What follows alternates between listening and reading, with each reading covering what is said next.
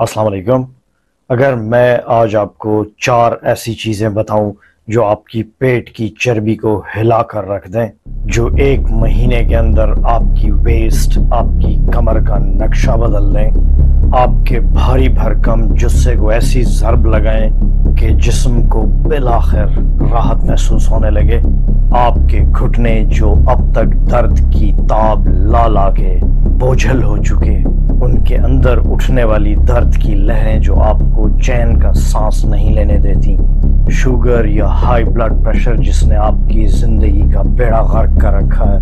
आपके जिस्म में जो किसी जमाने में जवानी वाली एक स्पिरिट एक बर की रौ दौड़ा करती थी, जो अब माजी की एक याद बन चुकी है। जी हाँ अगर ये सब कुछ आपके अंदर चल रहा है और आप बिलाखिर तंग आकर इसको दुरुस्त करने पर आमादा हो चुके हैं, आपने तहैया कर लिया कि आप ज़िंदगी को बदलना है तो यकीन करें कि आप सही जगह पर आए हैं।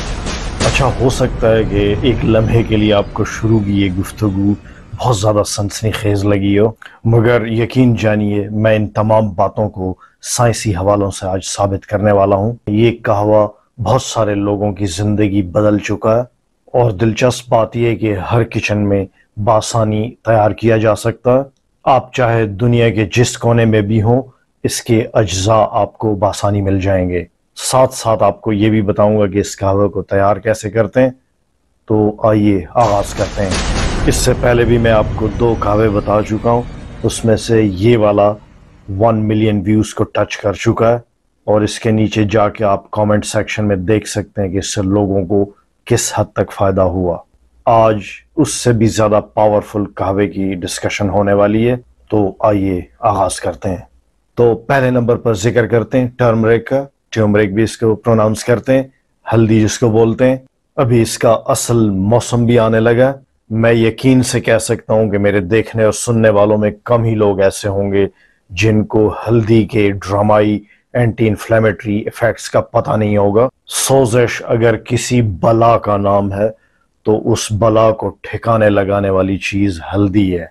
इन्फ्लेमेशन या सोजिश वो इफरीत है जो हर बीमारी के पीछे छुपी हुई एक हकीकत है। हल्दी के अंदर एक मादा पाया जाता है, जिसको करक्यूमिन कहते हैं। यही वो मादा है यही वो केमिकल है जो सोजिश का तिया पांचा करता है।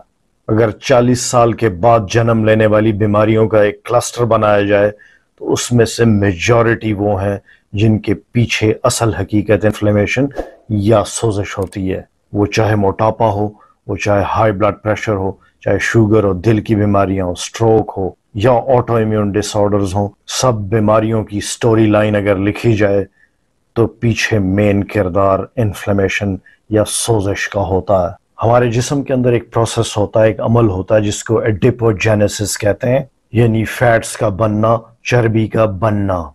या यूँ कह लें कि चर्बी के जो गैर पुख्ता खलिए होते हैं, वो पुख्ता चर्बी में कन्वर्ट होते हैं तो इस अमल को एडिपोजेनेसिस कहते हैं। आपका और हमारा जिसम चर्बी बनाता है तह दर तह वो चर्बी वक्त के साथ, उम्र के साथ जमती जाती है, बढ़ती जाती है। ज़ाहिर है, सबका लाइफस्टाइल खराब है। खाना, पीना, उठना, बैठना, उसमें प्रॉब्लम्स हैं। सेहतमंद तर्ज ज़िंदगी नहीं। पेट है तो हर आए रोज निकलता चला जा रहा है। शर्ट के बटनों का भी दम घुटने लगा तो क्या हो रहा है कि चर्बी के नीम पुख्ता खलिए तेज़ी से पुख्ता चर्बी में कन्वर्ट हो रहे हैं, तब्दील हो रहे हैं। इसमें कई मोलेकुलर पाथवेज इन्वॉल्व हैं, कई जीन्स स्विच ऑन और स्विच ऑफ़ हो रहे हैं। इस चर्बी बनाने के अमल के पीछे बहुत सारे किरदार हैं, बहुत सारे खिलाड़ी हैं जो ये काम सर अंजाम दे रहे हैं। उनके अंदर एक खिलाड़ी का नाम है P P A R gamma याद रहे कि मैं हल्दी का मैकेनिज्म बताने लगा हूँ कि वो चर्बी कैसे घटाती है। तो ये P P A R gamma चर्बी को इशारा करता है। आजा, पेट के इलाके में बहुत बड़ा प्लॉट दस्तियाब है, बहुत बड़ी जगह है, घर बना ले। चर्बी को दावतनामा मौसूल हो चुका, पीपीआर गैमा ने दिया। हमारे जिसम में चर्बी इकट्ठी करने के जो फेवरेट स्पॉट्स हैं, उनमें से सबसे अहम का मैंने नाम लिया पेट। किसी के कूल्हे हो सकते हैं, किसी का चेस्ट हो सकता है, या ओवरऑल पूरी बॉडी भी हो सकती है किसी की। इन एरियाज़ में चर्बी कहाँ का रुख करती है? ये जेनेटिकली ड्रिवन होता है। आपके जीन्स ये डिसाइड करते हैं कि कहाँ ज़्यादा चर्बी पहुंचानी है, कहाँ ज़्यादा स्टोर करना है।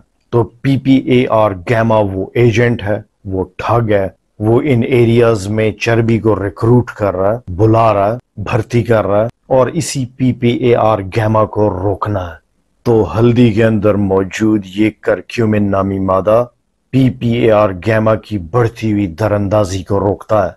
जब इसे रोक दिया गया तो क्या होता है कि चर्बी के गैर पुख्ता खलिए पुख्ता खलियों में तब्दील होने से बाज आ जाते हैं रुक जाते हैं और यूँ वो चर्बी जो तह दर तह जम के चर्बी का पहाड़ बना रही थी वो अब थम जाती है दो और हार्मोन्स हैं जिनका नाम है लेप्टिन और एडिपोनेक्टिन ये उनको भी रेगुलेट करता है और जिसकी वजह से भूख कंट्रोल में आ जाती है आप ज़्यादा खाते नहीं तो जिसम ज़्यादा फैट बनाता नहीं है इस कहवे का अगला जुज, अगला कंपोनेंट है ब्लैक पेपर, यानी काली मिर्च। ये मोटापे की मैनेजमेंट में एक और बेहतरीन कुदरती दवा है। काली मिर्च के अंदर मौजूद पाइपरीन नामी मादा वो बारूद है जो चर्बी को उड़ाने का काम करता है। ये जिसम के अंदर एक कंट्रोल्ड गर्मी पैदा करता है, जिससे कैलोरीज तेज़ी से बर्न होने लगती हैं। हमारे जिस्म के अंदर चर्बी की एक किस्म है, जिसको बैट बोलते हैं, या ब्राउन एडिपोज टिश्यू ये चर्बी की वो किस्म है जो हमारे जिस्म को गर्म रखती है, खासकर सर्दियों में इसकी ज़रूरत पड़ती है। ये ख़ास किस्म की चर्बी हमारे कंधों में, हमारी गर्दन के हिस्से में और हमारी कमर के हिस्से में पाई जाती है और इसका एक ख़ास फ़ंक्शन है कि ये एक ख़ास किस्म की एनर्जी हमारे बॉडी में प्रोड्यूस करती है, जिसकी वजह से जिसम में हरारत फैलती है। यही वजह है कि आप सर्दियों के मौसम में लिहाफ में घुसते हैं और थोड़ी देर के अंदर आपकी अपनी बॉडी हीट आपके लिए कंबल को, लिहाफ को गर्म कर देती है। अब इसी चर्बी के अंदर एक दरवाज़ा, एक खिड़की है, जिसको ट्रिप वी वन कहते हैं या टी आर पी वन कहते हैं। ये एक रिसेप्टर है, ये एक खिड़की है। ये इस चर्बी में भी पाई जाती है और ये कुछ पट्टों के अंदर भी पाई जाती है हमारे जिस्म में। काली मिर्च दरअसल इन दरवाजों को, इन खिड़कियों को स्टिमुलेट करती है एक्टिवेट करती है और यूँ वो इस चर्बी के अंदर एक आग को सुलगा देती है। और फिर चर्बी के अंदर लगने वाली इस आग से चर्बी पिघलने का अमल शुरू होता है।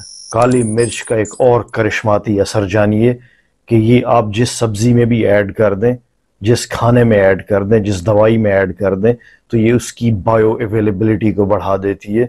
उन चीज़ों का असर बॉडी के अंदर ज़्यादा होने लगता है। उन चीज़ों को तेज़ी से खून के अंदर पहुँचा देती है। तो किसी दवाई के असर को मैक्सिमाइज करना हो, बढ़ाना हो तो साथ काली मिर्च दी जाती है। तो ये इसका एक एडिशनल बेनिफिट है। अगली चीज़ है सिनेमन जी हाँ इसका ज़िक्र पिछली वीडियो में भी हुआ था।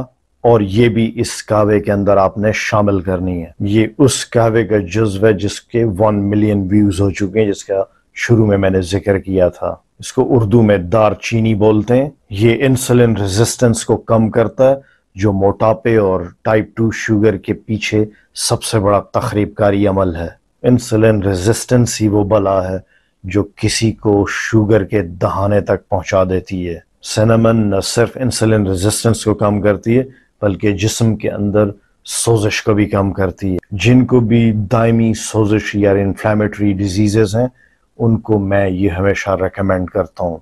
और आज के इस कहवे का आखिरी जज्व वो है अदरक या जिंजर हर किचन में मौजूद है, हर खाने में आप इस्तेमाल करते हैं।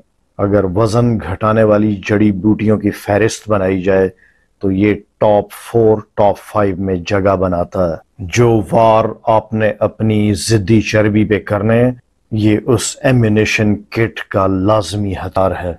ये भी इंसुलिन रेजिस्टेंस को कम करता है और साथ में एक और काम करता है कि ये आपके जिस्म में वारद होने वाली, पहुँचने वाली शुगर को उंगली से पकड़कर पट्ठों की तरफ़ ले जाता है मसल्स की तरफ़ ले जाता है। खुराक में ली जाने वाली शुगर को रुख मुहैया करता है कि जाओ बाबा तुम्हारी असल जगह पट्टे हैं मसल्स हैं। जहाँ शुगर ने चर्बी बनना है, उधर का रुख नहीं करना।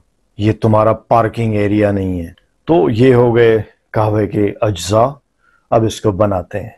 तो एक छोटा सा टुकड़ा आपने हल्दी का लेना है, सब्ज़ी मंडी से मिल जाता। एक छोटा टुकड़ा सिनेमन यानी दारचीनी का लेना है। एक छोटा टुकड़ा जिंजर या अदरक का लेना है। और काली मिर्च या ब्लैक पेपर के तीन दाने लेने हैं। आहिस्ता आहिस्ता जब आप अपने लिए कावा तैयार करने लगेंगे तो इन इंग्रेडिएंट्स का वज़न, मकदार, ये आप खुद एडजस्ट करने लगेंगे। कितना मुझे लेना चाहिए, कितने से मुझे फ़ायदा होता, या इनकी कितनी मकदार आप बर्दाश्त कर सकते हैं। तो हल्दी को ग्रेट कर लें, कद्दूकश कर लें दारचीनी का टुकड़ा हाथ से तोड़कर छोटा करके रख लें, अदरक भी कद्दूकश कर लें, तीन दाने काली मिर्च को भी छोटे पार्टिकल्स में तब्दील कर दें।